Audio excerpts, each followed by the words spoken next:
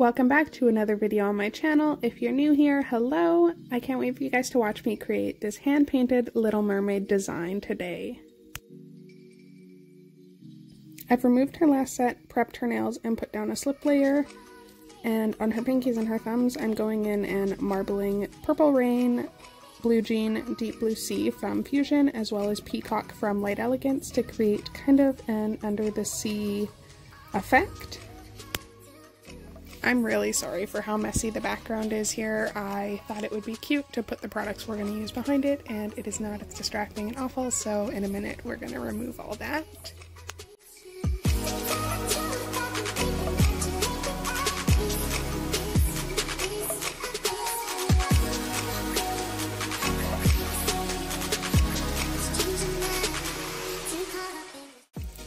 In on her pointer fingers with Mermaid in the Shade from Light Elegance.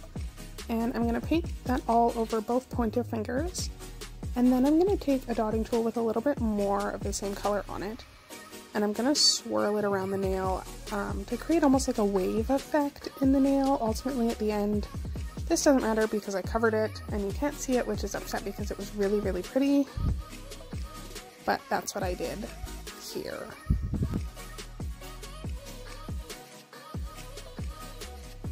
I've encapsulated and finish filed all her nails and now I'm coming in on both her ring fingers with a small kind of medium art brush and Fuzion's white paints and I'm going to paint the bottom half of the nail with that little point at the top to create kind of a shell outline.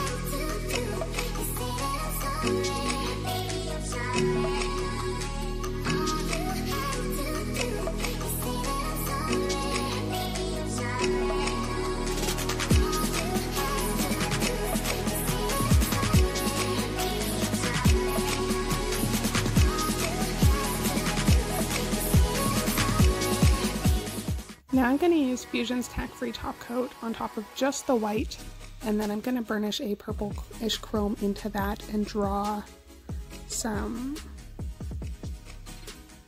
like seashell-like lines on top.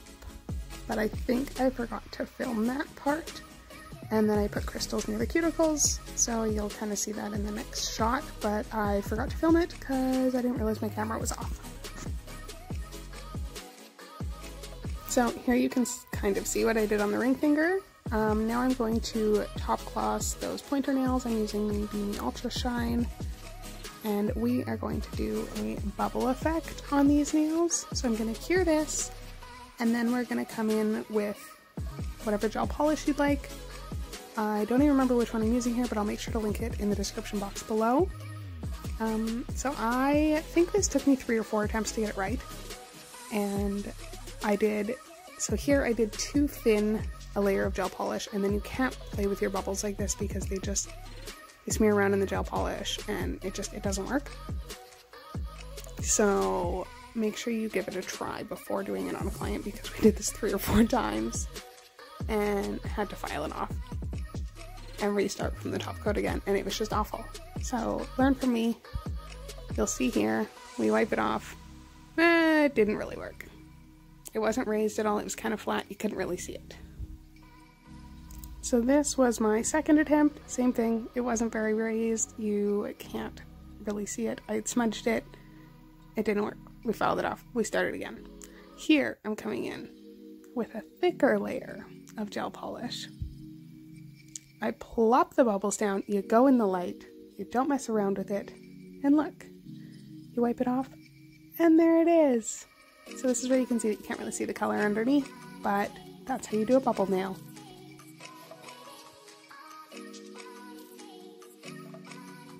Okay, let's get to the hand painting. I've gone over both the ring fingers with Fuzion's White Paints 101, and I've done two coats of that and cured, and now all the tile, all the colors on those on that tile in the top right corner are made using a mixture of Fusion paints.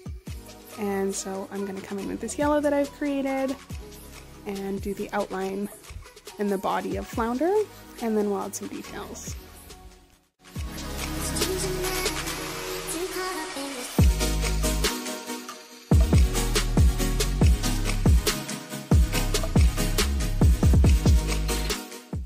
And then I'm just going to use a brush with some alcohol on it to clear up some of the lines and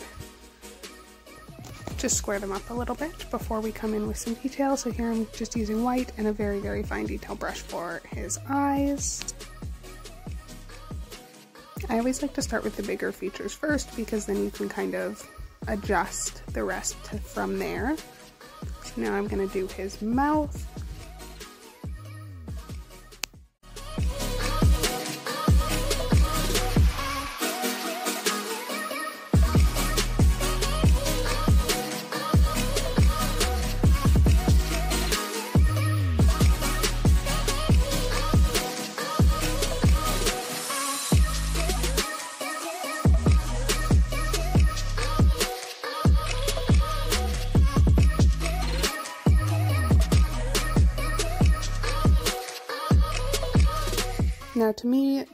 feature that stood out was the stripes on his body because from here I can line up the stripes in his fin on his back. So this is what I decided to do next. And during this process, I am just looking at the samples that I did above the tile while I'm working. We're gonna come in and do his fins.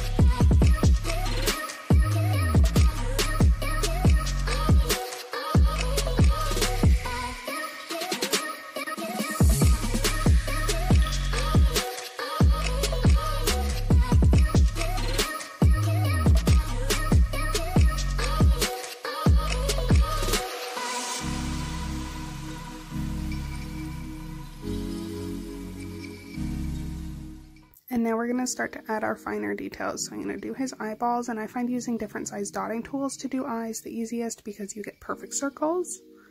And then with my Ugly Duckling Detailer number two brush, I'm going to come and do all the, all the outlining.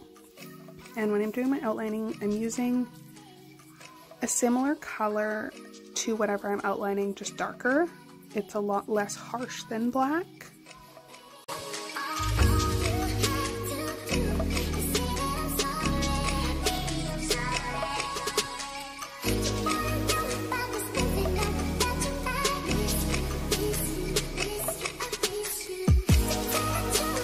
While you're doing your outlining, I flash cure a lot because then if you mess up, you can use your brush with alcohol on it. You don't have to worry about smudging the rest of your design and it just will make your life a lot easier to be flash curing quite frequently, especially if you're working in tight spaces. I flash cure, I should have flash cured almost each of these lines that I'm doing at the front of his fin by his head here. Because gel likes to be where gel is, it typically tends to run together, so that's that's why you want a flash cure.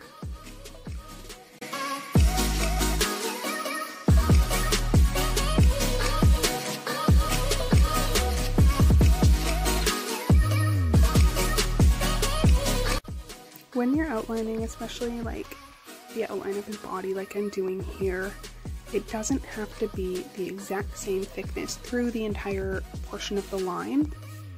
It's hand painted, it doesn't have to be perfect. And I find you get a really good effect that way as opposed to stressing over making it perfect the whole way along. Obviously, you can clean up some lines and stuff, but it doesn't have to be absolutely perfect.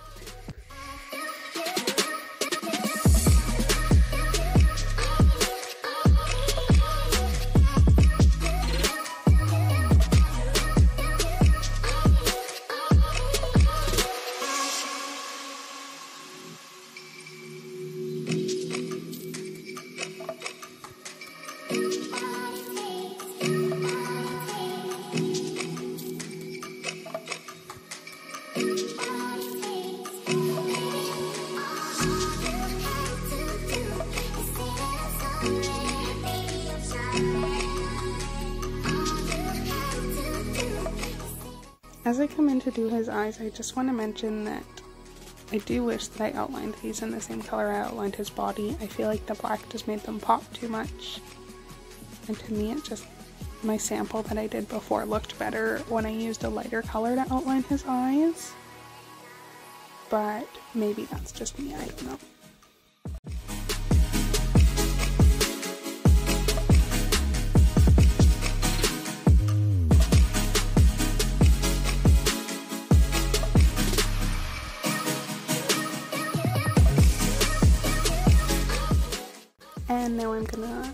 This with Bemi's Ultra Shine just to seal it in and be done with this nail.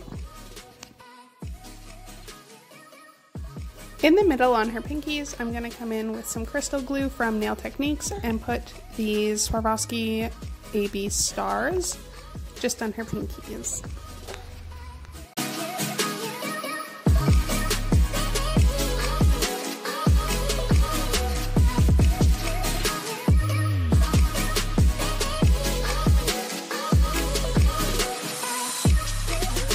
Now let's get to Ariel.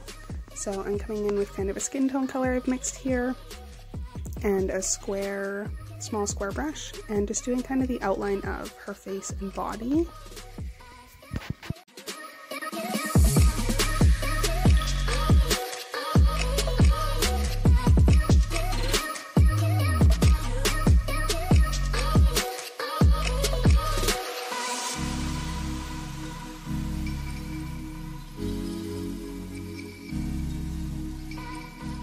Do apologize because my camera turned off and I missed a little bit of the footage right here, but I've used some red for her hair, gone in with her eyes, and then I outlined her face with, again, just a color darker than her skin tone. And I'm using that same color that I used to outline to come in and do her nose with my Ugly Duckling Detailer brush. I find that I always place their eyes first, and then typically their mouth, but I know that I needed to get her nose in there.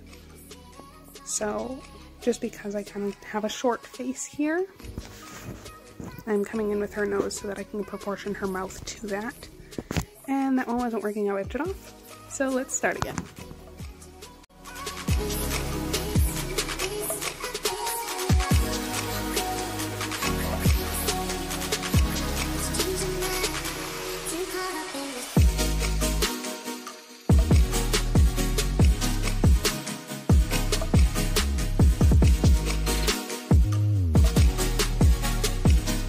Once I have her nose perfect, I'm going to use a darker red and come in and place her eyebrows. And I'm just using a really fine brush. I believe this one's from Sally's. I think the brand is like Winning Nails or something. I'll put it in the comments or in the description box below.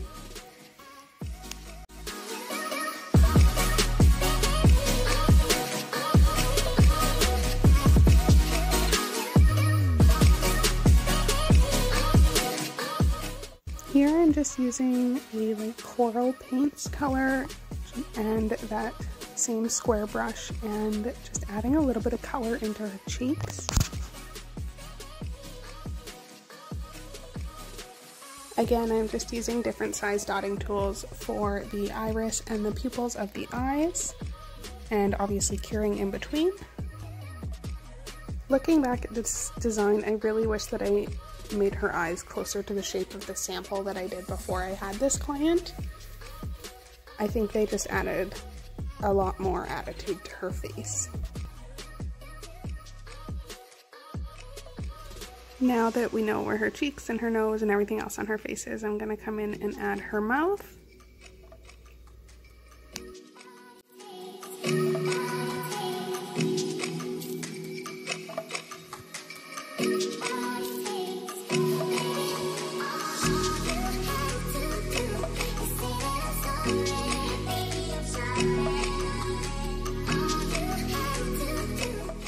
Obviously, if we left her like this, she would look crazy, so we're gonna add some teeth.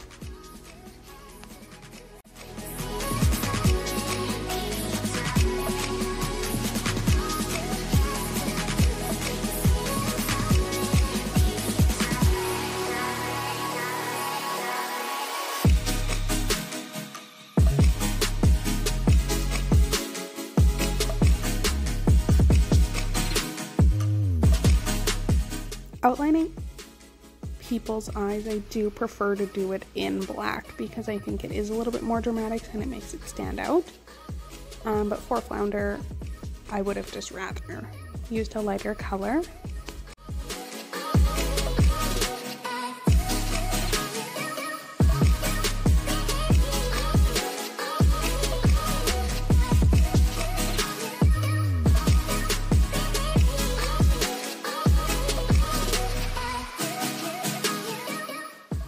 We're going to add some purple at the bottom to detail in her bra, just so it kind of gives you a bit more of an idea of which character this is meant to be.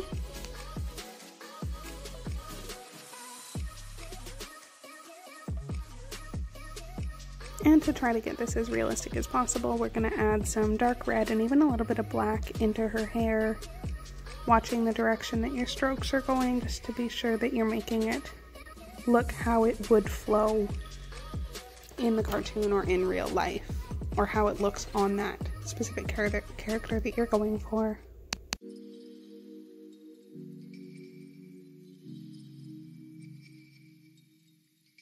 I do a lot of adding and removing and moving around and adding and removing again until I'm happy with my design. When you're hand painting, make sure you're watching for details.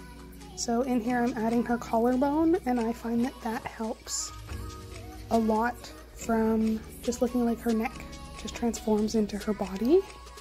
Same with adding like the line for the chin and things like that. And now I'm using black and just kind of outlining her hair and a few other details. I dropped my detailer brush midway through this set and it made the rest of it very, very hard because it was kind of angled, it wasn't the same, it lost a few bristles. So take care of your brushes because they are your biggest tools.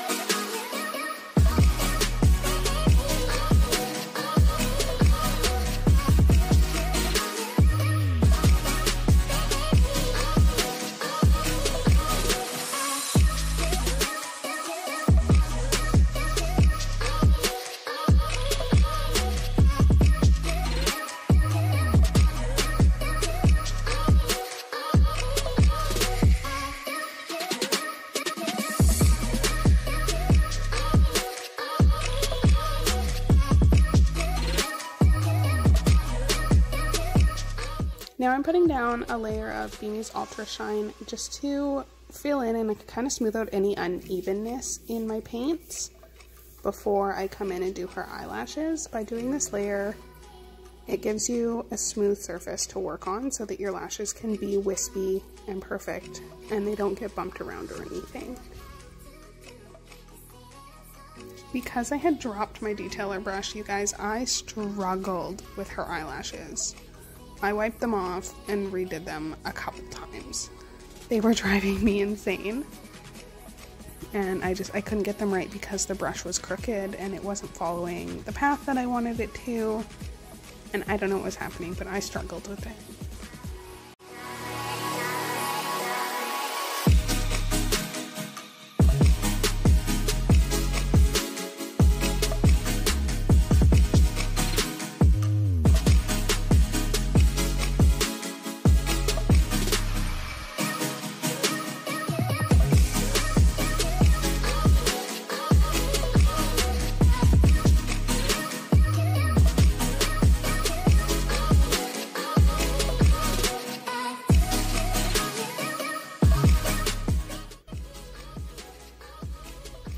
Seal that in with another layer of Bemi Ultra Shine, and that's it for this design.